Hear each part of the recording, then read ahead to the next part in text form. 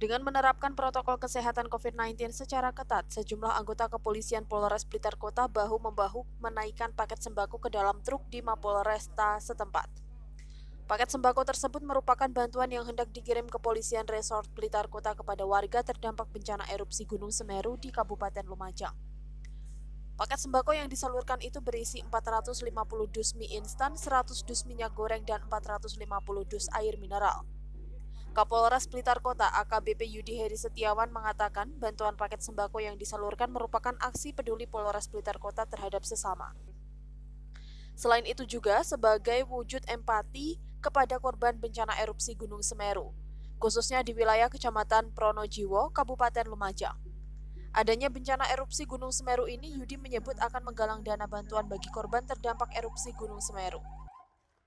Hari ini Polres Blitar Kota akan memberangkatkan bantuan sosial kemanusiaan yang akan ditujukan kepada warga masyarakat yang terdampak erupsi Gunung Semeru yang ada di Lumajang, tepatnya daerah Pronojiwo.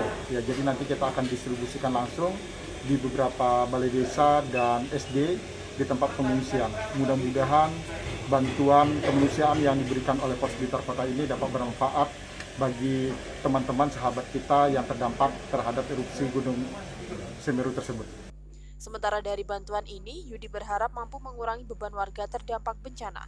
Dari Blitar, Arif Rosmanto, Garda TV.